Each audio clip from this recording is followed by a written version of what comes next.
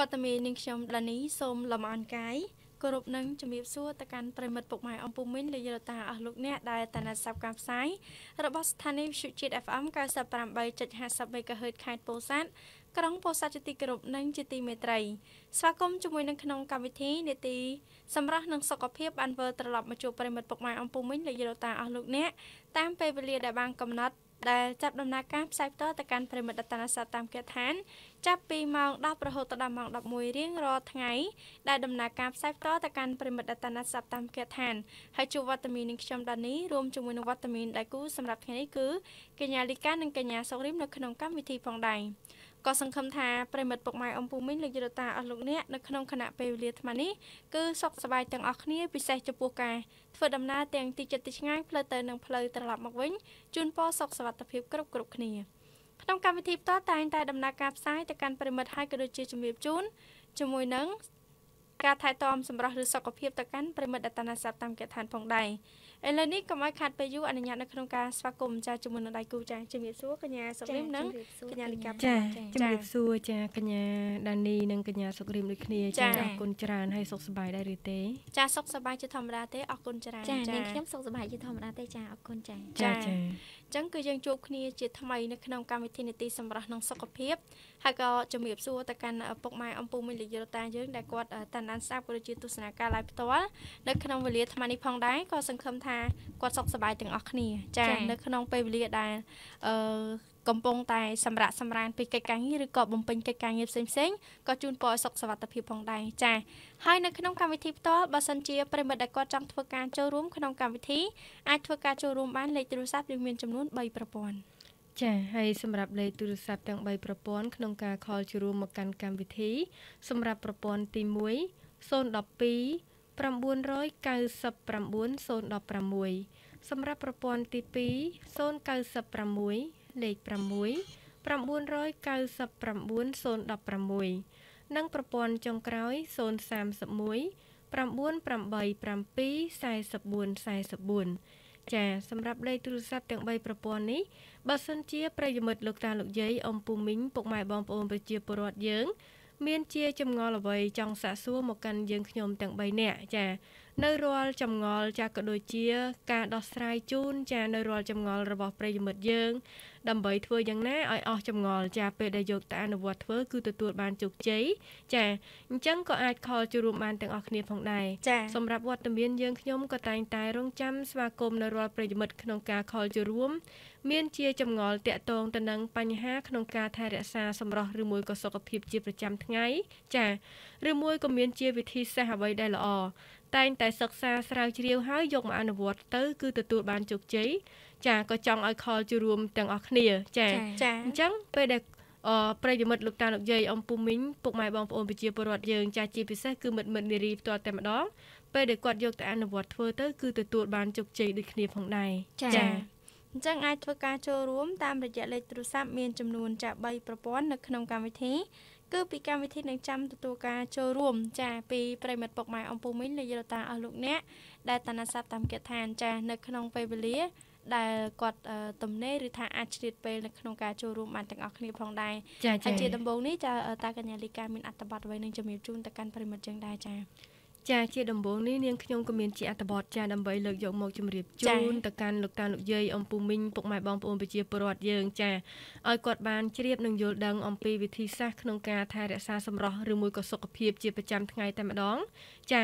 ហើយសម្រាប់អត្ថបទដែលនាងខ្ញុំចាត្រៀមជាលើកដំបូងដើម្បីយកមកជម្រាបជូននេះគឺតកតងទៅនឹងផ្នែកចាសម្រស់ ចាធ្វើយ៉ាងណាដើម្បីឲ្យសម្រស់យើងកាន់តែស្រស់ស្អាតណាចាអញ្ចឹងតាមដានស្ដាប់ជាមួយនឹងអត្ថបទដែលនាងខ្ញុំលើកយកមកជម្រាបជូនទាំងអស់គ្នាចារូបមន្តធម្មជាតិមួយនេះជួយកាត់បន្ថយស្នាមអុចខ្មៅលើផ្ទៃមុខបានយ៉ាងមានប្រសិទ្ធភាពចាចាមុខសស្អាតគ្មានស្នាមអុចខ្មៅគឺជាបំណងប្រាថ្នារបស់នារីគ្រប់គ្រប់រូបការមានបញ្ហាស្នាមខ្មៅនឹងជាប់នៅលើផ្ទៃមុខធ្វើឲ្យពួកគេបាត់បង់សម្រស់50% ចាចាសម្រាប់ថ្ងៃនេះនាងខ្ញុំក៏សូមចាណែនាំអំពីប្រសិទ្ធភាពក្នុងការកាត់បន្ថយស្នាមអុចខ្មៅនៅលើផ្ទៃមុខនឹងធ្វើឲ្យមុខរបស់យើងនឹងកាន់តែស្រស់ស្អាតនិងក្មេងជាងវ័យចាសម្រាប់គ្រឿងផ្សំយើងគ្រាន់តែមានចាដូចជាទឹកដោះគោម្សៅរមៀតនិងទឹកក្រូចឆ្មា ចាគឺតែ3មុខទេ វិធីធ្វើលាយទឹកដោះគោម្សៅរមៀតនិងទឹកក្រូចឆ្មា ចូលគ្នារួចកូរឲ្យសព្វល្អ ចាយកលបាយនោះទៅលាបនៅកន្លែងដែលមានស្នាមអុចខ្មៅនៅលើផ្ទៃមុខរួចទុកវាចោលរយៈពេលចាពី5ទៅ10នាទីចាំលាងជាមួយនឹងទឹកក្តៅអ៊ុនៗគឺជាការស្រេចចាអនុវត្តវាចាឲ្យបានញឹកញាប់នោះស្នាមអុចខ្មៅនឹងបាត់បង់បន្តិចម្ដងបន្តិចម្ដងចានេះគឺជាចារូបមន្តក៏ដូចជាវិធីសាស្ត្រងាយងាយក្នុងការថែទាំចាសម្រស់ស្បែកមុខរបស់យើងផ្ទាល់តែម្ដងចា បើសិនជាប្រិយមិត្តយើងចាមានជាលក្ខណៈអមុខស្រអាប់ក៏ដូចជាមានស្នាមអុចខ្មៅនៅលើផ្ទៃមុខអញ្ចឹងគាត់អាចអនុវត្តធ្វើបានទាំងអស់គ្នាចាងាយងាយទេដូចជានាងខ្ញុំបានជម្រាបជូនអញ្ចឹងវិធីសាស្ត្រក្នុងការអនុវត្តចាយើងគ្រាន់តែមានទឹកដោះគោចាម្សៅរមៀតក៏ដូចជាទឹកក្រូចឆ្មាចាយើងលាយល្បាយទាំង3មុខនេះដាក់ចូលគ្នាហើយកូរវាឲ្យសព្វចាបង្កើតបានជាល្បាយខាប់ខាប់ចាប៉ាក់ប៉ាក់ រួចហើយយើងអាចយកមកលាបនៅលើស្នាមចាដែលមានអុចខ្មៅនៅលើផ្ទៃមុខរបស់យើងក៏ដូចជាស្នាមអជាលក្ខណៈមួយថាកើតមុនចាកើតមុនហើយ ពេលដែលជាទៅវិញទៅវាបង្កើតបានជាស្នាមមួយនៅលើផ្ទៃមុខណាចាកញ្ញាអញ្ចឹងគាត់អាចអនុវត្តចាក្នុងការធ្វើទាំងអស់គ្នាចាធ្វើទោះថាគាត់ទទួលបានជោគជ័យឬមួយក៏គាត់មិនទទួលបានជោគជ័យក៏ដោយក៏គាត់ក៏ចង់ឲ្យគាត់ចាខលជារួមដើម្បីបញ្ជ្រាបចាដូចគ្នាចាពីព្រោះថាតកតងទៅនឹងស្បែកមុខរបស់មនុស្សយើងម្នាក់ម្នាក់គឺអត់ដូចគ្នាទេចាស្បែកមុខមានលក្ខណៈខុសគ្នាហើយអញ្ចឹងសម្រាប់ អត្ថប្រយោជន៍ក៏ដូចជាវិធីសាស្ត្រក្នុងការជម្រាបជូននីមួយៗជួនកាលប្រិយមិត្តយើងខ្លះពេលដែលគាត់យកទៅអនុវត្តធ្វើទៅក៏ទទួលបានជោគជ័យខ្លះទៀតពេលដែលគាត់យកទៅអនុវត្តធ្វើទៅគឺមិនទទួលបានជោគជ័យនោះទេប៉ុន្តែសម្រាប់ប្រសិទ្ធភាពក៏ដូចជាវិធីអនុវត្តធ្វើហ្នឹងគឺដូចគ្នាចា៎ដោយដែលនាងខ្ញុំបានជម្រាបជូនអញ្ចឹងអញ្ចឹងបើសិនជាគាត់ចាយកទៅអនុវត្តធ្វើតាមរូបមន្តនេះ ទោះថាទទួលបានជោគជ័យក៏ដោយមិនទទួលបានជោគជ័យក៏ដោយក៏ចង់ឲ្យគាត់ខលជួរួមដើម្បីបញ្ជ្រាបដូចគ្នាចាជូនទៅកាន់ប្រិយមិត្តយើងដែលគាត់កំពុងតែតាមដានស្ដាប់ក៏ដូចជាកំពុងតែទស្សនាការ live ផ្ទាល់ចាពេលដែលគាត់យកទៅអនុវត្តធ្វើទៅគឺទទួលបានជោគជ័យហើយក៏គាត់បាត់ចម្ងល់មួយ ដែលមានបញ្ហាដូចជាការឆ្ងល់ណាចាពីព្រោះថាវិធីសាស្ត្រមួយមួយ ពេលដែលនាងខ្ញុំចាក៏ដូចជាកញ្ញាទាំងពីរបានជម្រាបជូនអញ្ចឹងគាត់តែងតែយកទៅអនុវត្តធ្វើហើយចាអញ្ចឹងចង់ឲ្យគាត់ខលជួរួមដូចគ្នាណាចាដើម្បីកុំឲ្យ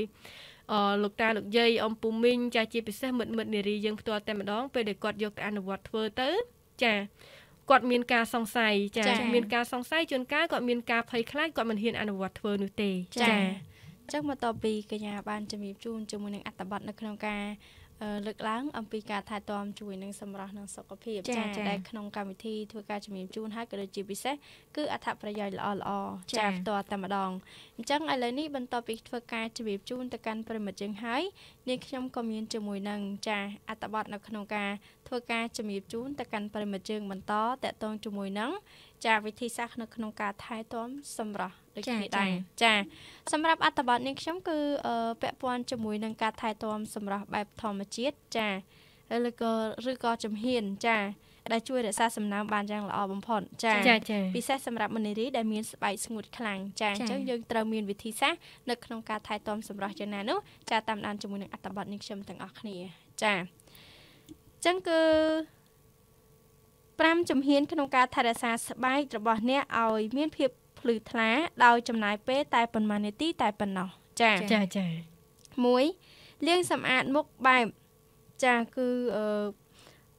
do classic ចាអញ្ចឹងគឺគឺជាមូលហេតុដ៏គ្រឹះដ៏សំខាន់សម្រាប់ការថែរក្សាស្បែករបស់អ្នកឲ្យស្អាត និងមានសុខភាពល្អវាក៏ជួយឲ្យស្បែកភ្លឺថ្លាបែបធម្មជាតិផងដែរព្រោះការលាងសម្អាតក្នុងទម្រង់នេះ វាអនុញ្ញាតឲ្យយើងកម្ចាត់ភាពកង្វក់ឬក៏សំណល់នៅលើផ្ទៃមុខបានទាំងស្រុងទោះជាយ៉ាងណាក៏ដោយ អ្នកត្រូវជ្រើសរើសហ្វូមលាងមុខដែលស័ក្តិសមនឹងស្បែករបស់អ្នកដែរចា៎ប្រើ toner ចាប្រើ toner ឬ Easener ចាបន្ទាប់ពីលាងសម្អាតមុខរួចជំបន្តជាមួយនឹង toner ដើម្បីកែតម្រូវស្បែកជំហាននេះគឺដើម្បីរៀបចំស្បែកសម្រាប់ជំហានបន្ទាប់ទៀត ហើយសំខាន់បំផុតនោះ វាក៏ជួយបន្ថែមសំណើមដល់ស្បែកបន្ទាប់ពីលាងមុខដែលរួចដែលអាចបណ្ដាលឲ្យស្បែកស្ងួតដូច្នេះហើយមិត្តនារីទាំងអស់គួរតែយកចិត្តទុកដាក់បន្ថែមទៀតចំពោះជំហាននេះវានឹងជួយឲ្យស្បែកមានសារធាតុចិញ្ចឹមកាន់តែមានប្រសិទ្ធភាពចាទី3គឺប្រើសិតម៉ាស់ចាចាសិតម៉ាស់សម្រាប់ស្បែកភ្លឺថ្លាអ្វីដែលសំខាន់បំផុតនោះគឺត្រូវប្រើសំណើម ដល់ស្បែកនារីកូរ៉េដែលផ្ដោតសំខាន់ទៅលើការប្រើម៉ាស់ច្រើនអ្នកខ្លះក៏បំពន់ផ្ទៃមុខដោយការបិទបាំងមុខជារៀងរាល់ថ្ងៃផងដែរនោះក៏ព្រោះវាជាវិធីសាស្ត្រចំណាយពេលច្រើនក្នុងការធ្វើឲ្យស្បែកអ្នកមើលទៅ មានភាពទន់រលោងគួរឲ្យចង់ប៉ះចាទី4ចិញ្ចាំអឺចិញ្ចឹមស្បែកជាមួយនឹងសេរ៉ូម ចានេះគ្រាន់តែយើងវិធីសាស្ត្រដែលយើងបើសិនជាយើងប្រើលក្ខណៈអញ្ចឹងមែនបើលក្ខណៈបែបសេរ៉ូមបែបអីមែនប៉ុន្តែយើងប្រើតាមស្តង់ដារគឺស្បែករបស់យើងគឺពិតជាល្អចាចាបន្ទាប់ពីបិទម៉ាស់មុខដោយប្រើម៉ាស់សូមលាងសេរ៉ូមចាលាបសេរ៉ូមលាបមុខភ្លាមព្រោះជំហាននេះត្រូវបានគេចាត់ទុក ជាជំហានបន្តបន្ទាប់ពីការបិទមុខរួច បន្ទាប់ពីម៉ាស្សារួចលាបអឺលាបលើមុខថ្នមថ្នម ពេលដល់ពេលបិទមុខរួចហើយបន្តជាមួយនឹងសេរ៉ូមភ្លាមភ្លាមបើមិត្តនារីនារីធ្វើប្រហែសក្នុងជំហាននេះអាចបណ្ដាលឲ្យខូចស្បែកបានចា៎ទី5រក្សាសំណើមលើស្បែកដល់ដំណាក់កាលចុងក្រោយនៃការថែរក្សាស្បែកនិងសរលោងបែបធម្មជាតិនោះគឺជាជាដំណើរនៃការចាក់សោរក្សាសំណើមនៅលើមុខខ្លួនឯងនេះហើយជំហាននេះសម្រាប់ក្មេងស្រីជ្រើសរើសក្រែមបំពន់ដែលមានកំហាប់ខ្ពស់ ជាពិសេសនៅពេលយប់ដែលមនុស្សមួយចំនួនអាចគេងក្នុងបន្ទប់ម៉ាស៊ីនត្រជាក់ដែលជាបំជាមិនផុតពីការធ្វើឲ្យស្បែកស្ងួតហើយការលាបក្រែមផ្ដល់សំណើមជួយឲ្យរក្សាសំណើមលើ ស្បែកពេញមួយយប់ផងដែរចាអញ្ចឹងក្នុងការថែរក្សាចាឬក៏ដូចជាប៉ុន្មានជំហានជួយរក្សាសំណើមបានយ៉ាងល្អបំផុត ពិសេសគឺសម្រាប់មនារីនារីដែលគាត់តែងតែមាន ចាស្បែកស្ងួតចាចាចាអញ្ចឹងគឺគាត់ត្រូវអឺ ប្រើជំហានទី1គឺគាត់លាងសម្អាតមុខហើយគាត់ប្រើប្រាស់ toner ចាចិញ្ចឹមស្បែកដោយសេរ៉ូមចានិងទី5ហ្នឹងគឺរ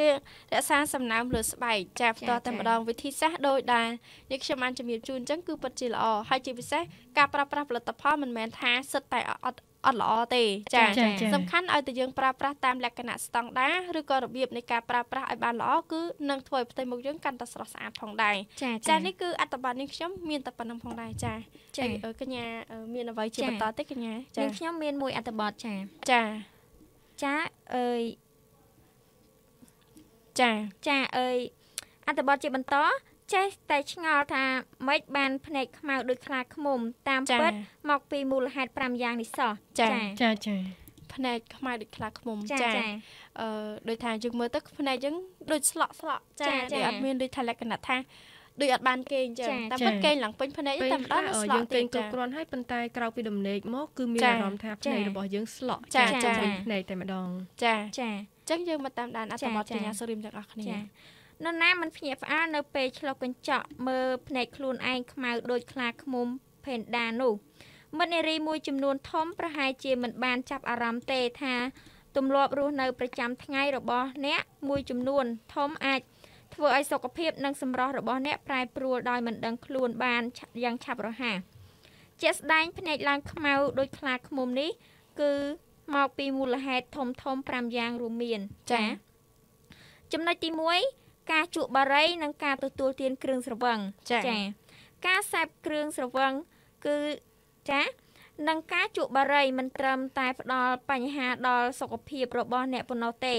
តែវាថែមទាំងជះឥទ្ធិពលមកដល់សម្រស់របស់អ្នកទៀតផង ការជក់បារីនឹងធ្វើឲ្យភ្នែករបស់អ្នកប្រែជាពណ៌ខ្មៅរីឯការទទួលទានសូរ៉ាវិញ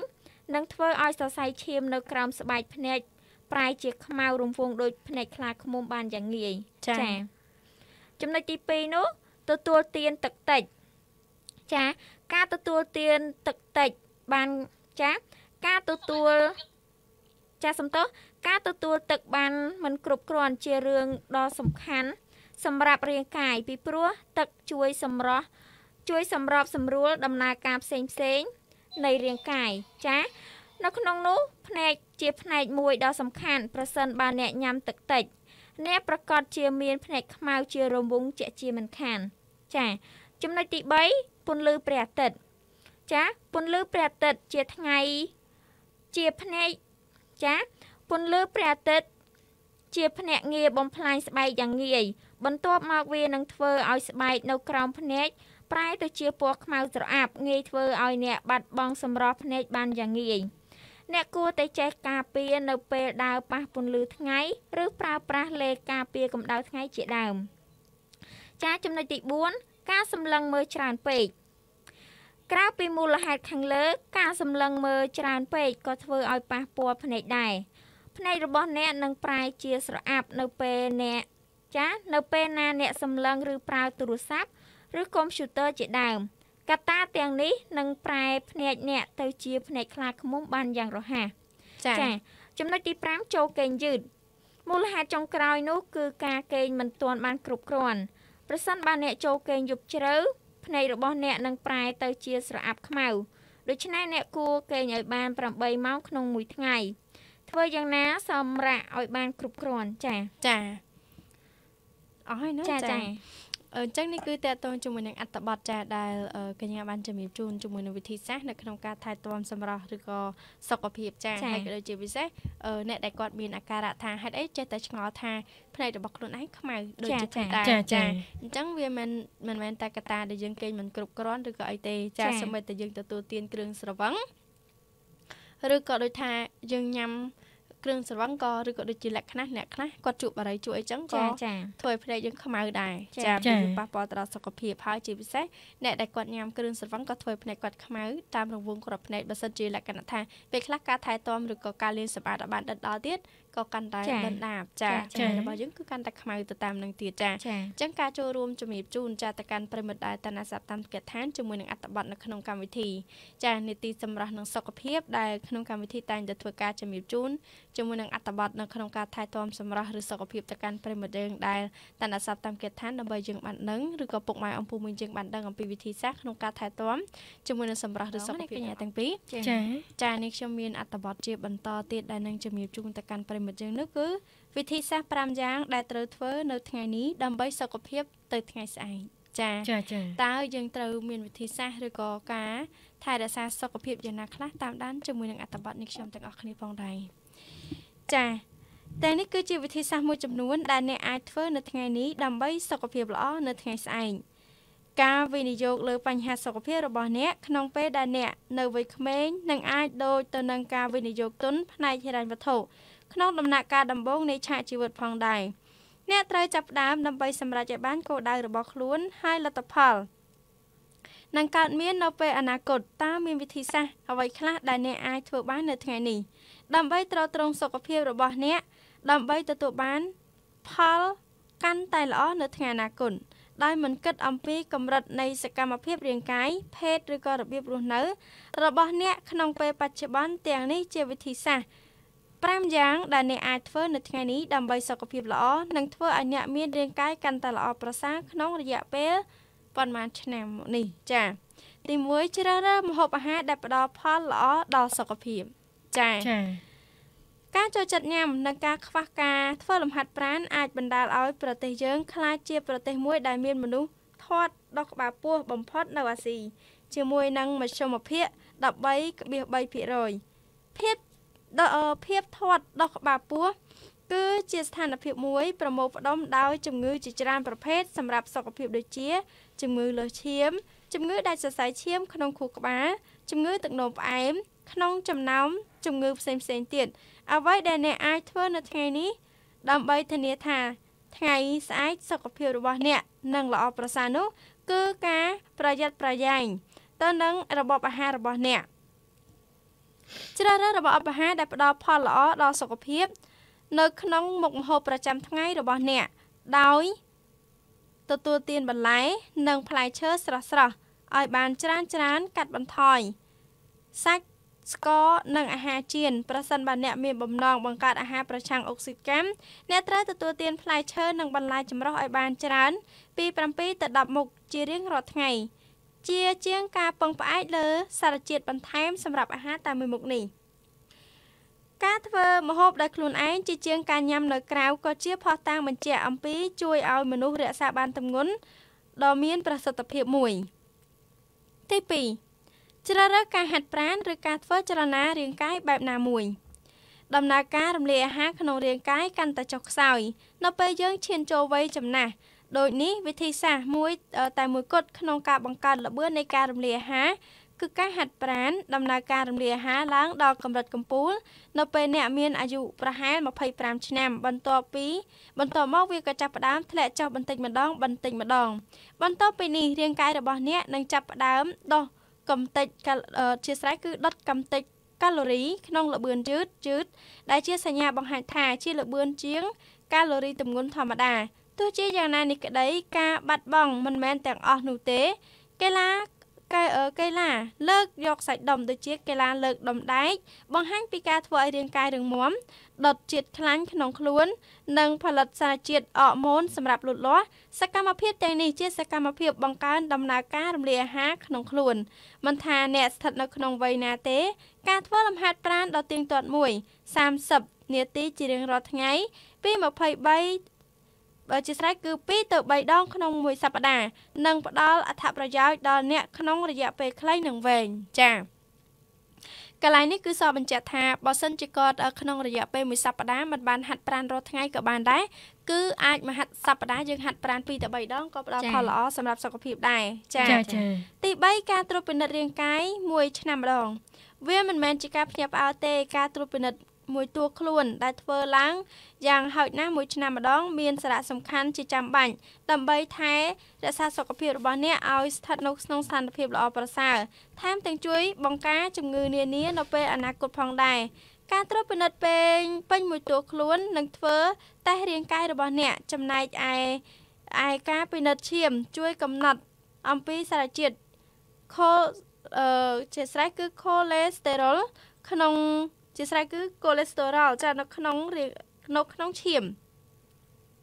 កម្រិតនៃចរន្តឈាមនិងរោគសញ្ញាផ្សេងផ្សេងដំណើរការទាំងនេះគឺជាសកម្មភាពបញ្ជាក់អំពីស្ថានភាពសុខភាពរបស់អ្នកសូមទៅជួបពេទ្យមួយឆ្នាំម្ដងក្នុងវ័យ20ទៅ30ឆ្នាំ ដើម្បីពិភាក្សាអំពីវិធីសាស្ត្រណាល្អខ្លះដែលអាចកែលម្អការរស់នៅប្រចាំថ្ងៃរបស់អ្នកដើម្បីទទួលបានសុខភាពល្អនៅថ្ងៃអនាគត ចាចាចាសម្រាប់ស្ត្រីវាមានសារៈសំខាន់ណាស់ដែលត្រូវត្រួតពិនិត្យសុដន់ដោយខ្លួនឯងយ៉ាងហោចណាស់មួយខែម្ដង ដើម្បីរកមើលដុំសាច់ឬក៏ទឹកដោះដែលអាចជាសញ្ញានៃជំងឺមហារីកសុដន់ចាទី4អនុវត្តវិធីសាស្ត្រការពារស្បែកមហារីកកើតចេញពីការខូច DNA នៅក្នុងកោសិកាស្បែកដូចនេះអ្នកត្រូវធ្វើការការពារឲ្យបានត្រឹមត្រូវបំផុតតាមលទ្ធភាពដែលអាចធ្វើបាន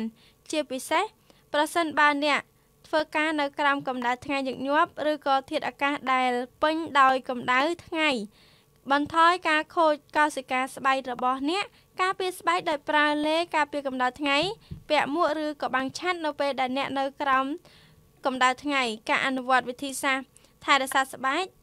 ហាក់ដូចជាវិធីសាស្ត្រស្វែងរកការថែទាំសកម្មភាព ប៉ុន្តែវាមានមុខងារថែទាំសុខភាពថែមទាំងជួយការពារឬកាត់បន្ថយស្នាមជ្រុលជ្រួញនិងការប្រែពណ៌របស់ស្បែកផងដែរអនាម័យជាមួយនឹងជាមូលដ្ឋាននៃការថែទាំស្បែកក៏មានសារៈសំខាន់ផងដែរដើម្បីជៀសបញ្ជៀសការវិវត្តរបស់មេរោគស្បែកចា៎ទី5គេងឲ្យបានគ្រប់គ្រាន់យោងតាមសមាគមអ្នកប្រាស្រ័យនៅកោះផេណាំងថាប្រជាជនម៉ាឡេស៊ីបានគេងគិតជាមធ្យមភាគអឺ គិតជាមធ្យមភាគចំនួន6.4ម៉ោងក្នុងមួយថ្ងៃចំនួននេះស្ថិតនៅក្រោមរយៈពេល8ម៉ោងក្នុងមួយថ្ងៃតាមការណែនាំសារៈសំខាន់នៃការទទួលទានដំណេកដ៏ទៀងទាត់មួយมันអាចបង្កើតឲ្យមានភាពធុញថប់ច្រើនឡើយរាងកាយដែលបានសម្រាកជួយជួសជុលនិងព្យាបាលជាលិកានិងកោសិកានានាចំណែកឯការទទួលទានដំណេកមិនគ្រប់គ្រាន់ត្រូវបានទទួលស្គាល់ថាបានបង្កើតហានិភ័យនៃជំងឺបេះដូងនិងលើសឈាម ជំហានជាមូលដ្ឋានទាំងនេះហាក់ដូចជាតិចតួចណាស់នៅថ្ងៃនេះប៉ុន្តែការអនុវត្តតាមជំហានទាំងនេះនៅក្នុងជីវិតរស់នៅប្រចាំថ្ងៃរបស់អ្នកនឹងបង្ហាញឲ្យឃើញពីប្រសិទ្ធភាពក្នុងរយៈពេលវែងរាងកាយក្នុងថ្ងៃអនាគតរបស់អ្នកនិងអរគុណអ្នកតើបញ្ហាដែលមួយតែមួយគត់ដែលអ្នកអាចធ្វើនៅថ្ងៃនេះសម្រាប់ថ្ងៃស្អែកដែលពោពេញទៅដោយភាពល្អប្រសើរនោះជាអ្វីចាអញ្ចឹងនេះគឺតកតងទៅនឹងអត្ថប្រយោជន៍អត្ថបទទាំង5 ដែលនេះខ្ញុំបានជម្រាបជូនទៅកាន់ប្រិមិត្តយើងចាចាចាគឺវិធីសាស្ត្រចានៅក្នុងការ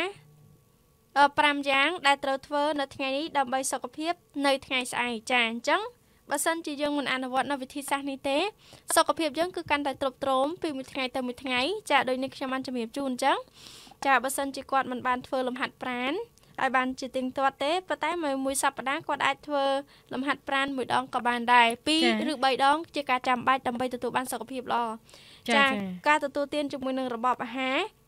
ចាឬក៏ដូចជាការត្រួតពិនិត្យរាងកាយរបស់យើងក្នុងរយៈពេល1ឆ្នាំម្ដង ចាហើយក៏ដូចជាអនុវត្តនៅវិធីសាស្ត្រការពារស្បែកចាព្រោះថាស្បែកយើងក៏ជាកត្តាសំខាន់ដែរបើសិនជាស្បែករបស់យើងខូចជាមួយនឹងប្រព័ន្ធ DNA នឹងធ្វើឲ្យយើងអាចងាយនឹងកើតមានប្រឈមជាមួយនឹងការកើតមានជំងឺមហារីក ចាស្បែករបស់យើងផ្ទាល់តែម្ដងចានេះគឺការជំរាបជូនចាជាមួយនឹងចំណេះដឹងទូទៅក៏ដូចជាការថែទាំសម្រាប់នឹងសុខភាពរបស់អស់លោកអ្នកផ្ទាល់តែម្ដងចាអត្ថបទនេះខ្ញុំមានតែប៉ុណ្្នេះទេចាចា ឃើញថាការជម្រាបជូនចាដែលតកតងទៅនឹងខាងផ្នែកសុខភាពដែលកញ្ញាដានីចាបានលើកយកមកជម្រាបជូនឃើញថាល្អមែនតែនសម្រាប់ចាប្រិយមិត្តលោកតាលោកយាយអំពូមីងពុកម៉ែបងប្អូនប្រជាពលរដ្ឋយើងគាត់យកទៅអនុវត្តធ្វើដើម្បីទទួលបានជោគជ័យក៏ដូចជាចាទទួលបានសុខភាពមួយដែលល្អជាប្រចាំថ្ងៃជៀសវាងពីជំងឺដង្កាត់ផ្សេងផ្សេងផងដែរចាហើយបន្ទាប់ពីកញ្ញាដានីចាគាត់ជម្រាបជូនរួចហើយ នាងខ្ញុំក៏មានជាអត្ថបទចាមួយទៀតដើម្បីចាលើកយកមកជម្រាបជូនដូចគ្នាគឺតកតងទៅនឹងបញ្ហាខាងផ្នែកសុខភាពផងដែរចាចាគឺតកតងទៅនឹងចាអត្ថបទគេដាក់ថា អ្នកងាយនឹងឈឺញឹកញាប់បើមានទម្លាប់មិនល្អទាំងនេះចាចំពោះអ្នកដែលចូលចិត្តចាឈឺញឹកញាប់ហ្នឹងគួរតែដឹងហើយអំពីចាទម្លាប់របស់ខ្លួនជាប្រចាំថ្ងៃចា ហើយជួនកាលពេលខ្លះក៏គាត់អត់ទាន់បានដឹងដូចគ្នាចាអំពីទម្លាប់របស់គាត់ថាតើមូលហេតុអ្វីចាឬមួយក៏ទម្លាប់អ្វីជាប្រចាំថ្ងៃបានជាគាត់ចាំមានអាការៈឈឺជាញឹកញាប់ចាចង់ដឹងថាយ៉ាងណានោះសូមតាមដានអត្ថបទជាមួយនឹងនាងខ្ញុំទាំងអស់គ្នា ទម្លាប់អាក្រក់មួយចំនួនដែលអ្នកគួរតែកាត់បន្ថយបន្តិចម្ដងបន្តិចម្ដង រហូតទាល់តែបញ្ឈប់វាទាំងស្រុងតែម្ដង ពីព្រោះវាពិតជាងាយនឹងរងគ្រោះថ្នាក់ដល់សុខភាពទូទៅ និងអាយុជីវិតរបស់អ្នកខ្លាំងណាស់ចា៎ទី1ហ្នឹងគឺកុំចូលគេងយប់ជ្រៅពីព្រោះរាងកាយរបស់អ្នកត្រូវការពេលវេលា ដើម្បីសម្រាកនិងជួសជុលការខូចខាត ចាទី1ហ្នឹងបានន័យថាកុំឲ្យយើងចូលគេងយប់ជ្រៅពេកចា ជួនកាលពេលខ្លះយើងរវល់ចាំមមាញឹកជាមួយនឹងការងារចាក៏ដូចជាការប្រកបរបរជាប្រចាំថ្ងៃចាយើងអត់បានសម្រាកហើយយប់ឡើងយើងក្របានសម្រាកទៀតអញ្ចឹងធ្វើឲ្យសុខភាពរបស់យើងចាទទួលបានសុខភាពមួយដែលមិនល្អចាងាយនឹងឈឺចាទី2ក្រោយញ៉ាំអាហាររួចកុំប្រញាប់ចូលគេងអ្នកត្រូវសម្រាកយ៉ាងហោចណាស់10នាទី ដើម្បីឲ្យក្រពះមានដំណើរការស្រួលសិន ចាទី2ក៏ដូចគ្នាចាពេលដែលយើងញ៉ាំអាហាររួចរាល់ហើយកុំឲ្យតន់អាលចូលគេងអីចាជួនកាលបើសិនជាយើងទទួលទាននៅអាហារមួយហើយយើងប្រញាប់ក្នុងការចូលគេងធ្វើឲ្យក្រពះរបស់យើងនឹងធ្វើការរំលាយអាហារអត់ទាន់បានស្រួលចាអញ្ចឹងវាអាចមានហានិភ័យចំពោះសុខភាពរបស់យើងផ្ទាល់ផងដែរចាទី3កុំប្រើប្រាស់ទូរស័ព្ទឬក៏កុំព្យូទ័រនៅលើគ្រែគេងពីព្រោះទីនោះគឺជាកន្លែងដែលអ្នកគេងតែមួយគត់ចា ទី4ការញ៉ាំកាហ្វេមុនពេលចូលគេង គឺជារឿងគ្រោះថ្នាក់ដែលអ្នកគួរតែជៀសវាង ចាទី4នេះអនាងខ្ញុំចាប់អារម្មណ៍ចាឃើញពេលខ្លះជាពិសេសលោកតាលោកយាយដែលគាត់ចាស់ចាស់ណាពេលមុនគាត់ចូលគេងអញ្ចឹងគាត់តែងតែចូលចិត្តទទួលទានចាកាហ្វេចាំមួយកែវក្តៅក្តៅមុនពេលចូលគេងអញ្ចឹងបើសិនជាគាត់មានទម្លាប់ទាំងអស់នេះតទៅទៀតសូមឲ្យគាត់កែទម្លាប់នេះចេញចាពីព្រោះថា ការទទួលទាននៅកាហ្វេចាចំនួនមួយកែវមុនពេលចូលគេងនឹងធ្វើឲ្យគាត់ មានបញ្ហា គឺมันងងុយគេងផ្ទាល់តែម្ដងចាអញ្ចឹងក៏អាចប៉ះពាល់ដល់សុខភាពរបស់គាត់ដូចគ្នាចាបន្ទាប់មកទៀតញ៉ាំអាហារដែលមានជាតិខ្លាញ់ច្រើនឬក៏ឆ្អែតពេកមុនពេលចូលគេងការប្រើប្រាស់ជាតិអាល់កុលឬក៏ស្រាមុនចូលគេងក៏ជារឿងដែលមិនគប្បីផងដែរចាអាហារញ៉ាំលេងមុនពេលចូលគេងនឹងធ្វើឲ្យក្រពះរបស់អ្នក ធ្វើការទាំងកណ្ដាលអាត្រៀតហើយអ្នកក៏ងាយនឹងឡើងគីឡូផងដែរចាអញ្ចឹងបានន័យថាមុនយើងចាស់ចូលគេងឬមួយក៏ជួនកាលយើងកំពុងតែមមាញឹកក្នុងការមើលទូរទស្សន៍ចាតាមដានរឿងភាគអីអញ្ចឹងណាតែងតែមានទម្លាប់ហើយចាបើមិនមាននេះមិនមាននោះញ៉ាំទេ គឺមើលអត់អត់ល្អមើលទេចាអញ្ចឹងគាត់គួរតែកែទម្លាប់នេះចេញវិញចាកុំឲ្យទទួលទាន នៅអាហារសម្រន់ចាពេលយប់ជួនកាលអាចធ្វើឲ្យគាត់នឹងឡើងគីឡូដែរចា បន្ទាប់មកគឺលំហាត់ប្រាណល្អប៉ុន្តែអ្នកគួរតែហាត់ប្រាណឲ្យរួចមុនពេលចូលគេងឲ្យបាន4ទៅ5ម៉ោងចាចំណុចបញ្ចប់របៀបកេងខុសឆ្គងក៏មិនល្អសម្រាប់សុខភាពរបស់អ្នកផងដែរចា៎ទាំងនេះគឺជាចំណុចចាដែលនាងខ្ញុំបានជម្រាបជូនចាធ្វើយ៉ាងណា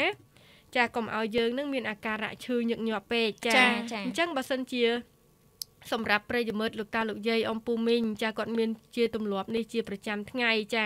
ហើយគាត់ចេះតែឆ្ងល់ថាអេចាមូលហេតុអីបានជាគាត់ឈឺញឹកញាប់ម៉េះចាលេបថ្នាំហើយអញ្ចឹងទៅជាមិនបានប្រមាណផងឈឺវិញទៀតចាអញ្ចឹងគាត់គួរតែយល់ដឹងអំពីទម្លាប់របស់គាត់ដែលគាត់ធ្វើប្រចាំថ្ងៃដូចគ្នាចាដូចជានាងខ្ញុំបានជម្រាបជូនអញ្ចឹងគឺឃើញថាល្អចាហើយបើសិនជាគាត់ស្ដាប់ទាន់ត្រង់ចំណុចនេះហើយគាត់គិតថាមាន ចាមានជាទម្លាប់របស់គាត់ជាប្រចាំថ្ងៃអញ្ចឹង គាត់គួរតែកែទម្លាប់នេះចេញចាបន្តិចម្ដងបន្តិចម្ដងយូរទៅវានឹងបាត់ចាហើយសុខភាពរបស់គាត់ក៏បានល្អតាមនឹងដែរចាចាអញ្ចឹងបន្តពីខាងកញ្ញាក៏បានជំរាបជូនចា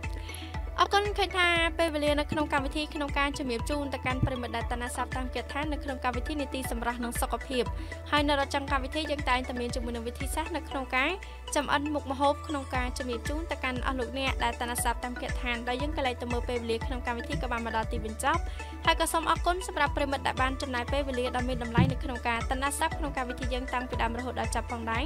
សូមគោរពជូនពរឲ្យទទួលបានតែសុខភាពល្អសំណាងល្អគ្រប់ពេលគ្រប់វេលា ជួបគ្នានៅថ្ងៃស្អែកចាស់តាមពេលវេលានិងម៉ោងកំណត់ដដែលសម្រាប់ពីកម្មវិធីដែលមានវត្តមាននេះខ្ញុំទាំង3រូបនៅក្នុងកម្មវិធីផ្សាយក៏សូមអរគុណនិងសូមគោរពលា